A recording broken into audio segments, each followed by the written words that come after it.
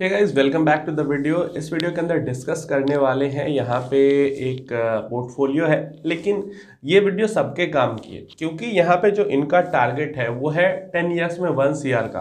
तो इसको अचीव करने का रोड मैप पे यहाँ पे हम बात करेंगे कि क्या हमारी एक्सपेक्टेशन होनी चाहिए, क्योंकि अनरियल एक्सपेक्टेशन रखने से सिर्फ़ और सिर्फ़ डीमोटिवेशन हाथ लगती है, पैसा हाथ नहीं लगता है। तो देखिए, इन्होंने बीर सिंह इनका नाम है प्लीज़ रिव्यू माय पोर्टफोलियो इन्होंने कई सारे फंड्स ऐड किए हुए हैं। इनकी जो टोटल एसआईपी म्यूचुअल फंड के अंदर जा रही है सेवनटीन थाउज़ेंड की जा रही है। पीपीएफ को हम यहाँ पे साइड कर रहे हैं, क्योंकि वो आठ परसेंट रिटर्न मेरे काम का नहीं है। चलिए म्यूचुअल फंड की अगर बात करते हैं यहाँ पे तो टोटल सेवनटीन थाउज़ेंड की एसआईपी जा रही है, जिसमें Canara bank blue chip fund है एक्सिस स्मॉल कैप फंड है क्वांट स्मॉल कैप फंड है Mirae asset emerging blue chip fund है क्वांट एक्टिव फंड है पीजीएम मिड कैप फंड है एंड आईसीआईसी टेक्नोलॉजी फंड है। अब यहाँ पे जो ये सत्रह हज़ार है, उसमें से पाँच हज़ार तो सीधा सीधा लार्ज कैप की जगह जा रहा है, समझ लो। पाँच हज़ार mid cap large and mid cap and large mid small cap इन में जा रहा है और पाँच हज़ार रुपया स्मॉल कैप में जा रहा है। तो सीधा समझ लो कि पंद्रह हज़ार में से पाँच हज़ार रुपया ऐसी जगह जा रहा है जहाँ पे जो रिटर्न होगी एक्सपेक्टेड वो चौदह से पंद्रह परसेंट की होगी, ज़्यादा से ज़्यादा लॉन्ग टर्म में। उसके अलावा का पाँच हज़ार ऐसे जगह जा रहा है जहाँ पे सोलह से सत्रह परसेंट की रिटर्न होगी एक्सपेक्टेड लाइक सोलह percent large and mid cap multi cap मान सकते हैं मिड कैप का सत्तर परसेंट तक मान सकते हैं। और जो अगला पाँच हज़ार जा रहा है, वहाँ पे अठारह से उन्नीस परसेंट तक भी रिटर्न मिल सकता है। तो इस तरीके से इनका पोर्टफोलियो है। तो ओवरऑल अगर इस पोर्टफोलियो पे बात करें तो सेवनटीन परसेंट के पास रिटर्न सिक्सटीन टू एटीन कह सकते हैं कि सोलह से अठारह परसेंट तक रिटर्न मिल सकता है।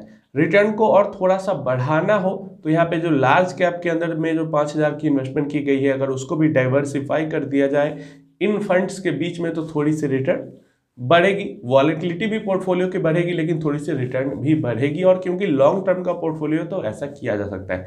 अगेन जो large and mid cap fund है, उसका भी अगर, वैसे तो उसमें एक हज़ार की ही एस जा रही है, लेकिन वो भी अगर इसमें बांट दिया जाए तो भी थोड़ा सा रिटर्न को लिफ्ट करने में हेल्प मिलेगी। लेकिन इससे पोर्टफोलियो के अंदर वॉलिटिलिटी भी बढ़ेगी।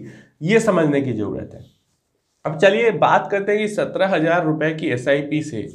वन करोड़ की वैल्यू अचीव करने में कितना टाइम लगेगा? दस साल में हो सकता है या नहीं? तो सत्रह हज़ार की एसआईपी हर महीने अगर करते हैं तो दस साल में one point zero four crore की टोटल वैल्यू के लिए हमें चाहिए twenty seven percent per annum का रिटर्न समझ रहे हो? जो कि पॉसिबल नहीं है। इम्पॉसिबल है। मतलब झूठा बात यहाँ बोलने की ज़रूरत क्या है? म्यूचुअल फंड के अंदर नहीं मिलेगा। कभी नहीं मिलेगा। चाहे आप एकदम स्मॉल कैप में ही पूरा इन्वेस्टमेंट करो, फिर भी twenty seven percent mutual fund से हासिल करना नामुमकिन है। हाँ डायरेक्ट स्टॉक इन्वेस्टमेंट करते हैं तो वो मुश्किल है, लेकिन यहाँ पे नामुमकिन है म्यूचुअल फंड्स के अंदर। तो पहला तो ये हमारा, यहीं पे कैंसिल हो रहा, जा रहा है कि 10 साल में सत्रह हज़ार रुपए से आप एक करोड़ रुपए नहीं बना सकते म्यूचुअल फंड्स दूसरा अगर बनाना ही हो तो क्या कर सकते हैं? देखो, हमारी जो एक्सपेक्टेड रिटर्न होनी चाहिए, चलो ठीक है, हमने आपने पूरा पंद्रह का पंद्रह डाल दिया स्मॉल कैप में। पूरा पंद्रह, सत्रह हज़ार जितनी एसआईपी जा रही है, पूरा स्मॉल कैप के अंदर ही एसआईपी कर रहे हैं। तो हम एक्सपेक्ट ऐसा कर सकते हैं कि हाँ पंद्रह, दस साल, बारह साल में आपको अठारह परसेंट तक का रिटर्न स्मॉल कैप से मिल जाए, क्योंकि पास्ट में मिला है। कई सारे मिड कैप फंड्स ने स्मॉल कैप फंड्स ने दिए हैं इतने रिटर्न्स इसलिए हम इतनी एक्सपेक्टेशन कर रहे हैं। तो यहाँ पे तीस हज़ार रुपये हर महीने की अगर एसआईपी करते हो अगले दस साल तक तो 18 परसेंट पर एन का उस पर रिटर्न मिलता है तो यहाँ पे आपका 1.01 करोड़ का वैल्यू तैयार हो जाता है। समझ रहे हो? 10 साल में 18 परसेंट रिटर्न के अकॉर्डिंग तीस हज़ार रुपये हर महीने एसआईपी करनी होगी।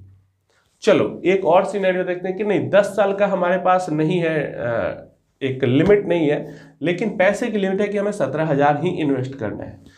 तो सत्रह हज़ार हर महीने इन्वेस्ट करके अठारह परसेंट पर एन का अगर उस पर रिटर्न मिल जाता है तो हमारा जो टेन्योर है वो थर्टीन ईयर्स तेरह साल अगर, दस साल से तीन साल आगे बढ़ जाते हैं तो हमारे जो कॉर्पस हो जाता है वो one point zero six crore का हो जाता है। तो ये तीन सिनारियो आपके सामने आ चुकी है एंड 18 परसेंट एक रिटर्न का ऐसा टारगेट है, जो कि अगर small and mid cap investing mutual funds के अंदर की जाए लॉन्ग टर्म की बात कर रहा हूँ लाइक दस साल या उससे ऊपर की तो अचीव किया जा सकता है। 17-18 परसेंट अचीव करना मुश्किल नहीं है।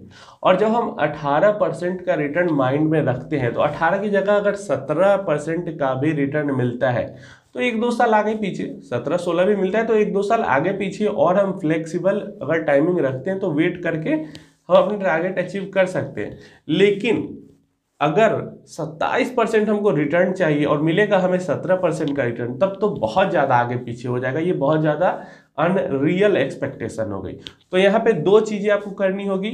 या तो अपनी एसआईपी को बढ़ा के सत्रह हज़ार से तीस हज़ार रुपये करने होंगे, या फिर आपके टाइमिंग को बढ़ा के दस साल से तेरह साल करना होगा। इन दोनों में से कोई एक काम करना होगा, तब जाके आपका टारगेट अचीव हो जाएगा, वो भी जब आप अपने पोर्टफोलियो में से लार्ज कैप के अंदर जो इन्वेस्टमेंट जा रहे हैं, उसको small cap and mid cap में ट्रांसफ़र करेंगे।